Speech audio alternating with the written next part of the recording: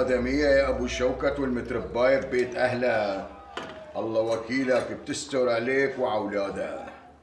وبتعيشك أحلى حنية مثل حنية أمك وأكتر. بتعمر لك بيتك ولأبنها. لأنه الله سبحانه وتعالى خلق هذا الكون لحتى يعمر.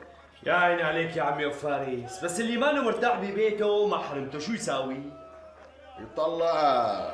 وإذا عنده من أولاد؟ لا. إذا كان هيك حرام. ما بصير يا ابني يتجوز عليها الشرع بيسمح له. أنا هذا اللي ناوي اساويه بدي أتجوز الثالثة وريح راسي وخلي القدم التنتين ملتهين بالأولاد والبيت. عن جد انت عم تحكي أبو شوكات إيه عن جد عم بحكي. ليش الجواز حرام ولا عيب؟ أي بس أنا على حد علمي بعرف انك متجوز ستين نسوة. ويكونوا ثلاثة سيدي. هي ما فيها شيء يعني. بس بقى مين هذا الرجال اللي بده يعطيك بنته وأنت عندك تتين نسوة؟ اخ والله ما بعرف. قلتك ما بيلتقى ما لك هو ما انه ما بيلتقى بيلتقى بس بقى تذكرت. ولا فارس. أبو النار شبو؟ شبك كيف ساعة أبو شوكات.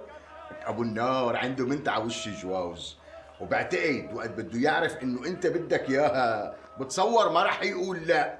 من وين رح يصير له واحد مثلك ابن عز وجاه وشغيل وقبضاي قلت لي بنته لأبو النار مثل ما عم أقول لك بنته هاي بقى إذا أنت معتمد أنا مستعد أحكي معه وجسل لك النبض يعني.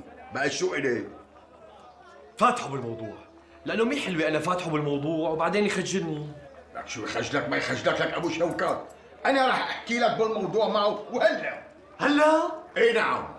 لك إيه بحبضي بحبضي لو عندي أنا بنت على وش جواز حتى ألف لك اياها هيك بالحرير الهندي وأقدم لك اياها هدية ولا بدي منك لا اصفر ولا احمر لك أو شو خلصنا؟ إيه خلصنا فارس. لك يسلموا هالإيدين.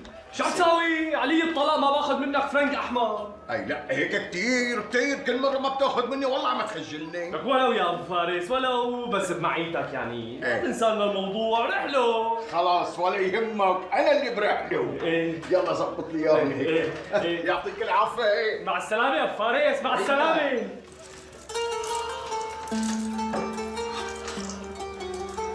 يا عيني عليك.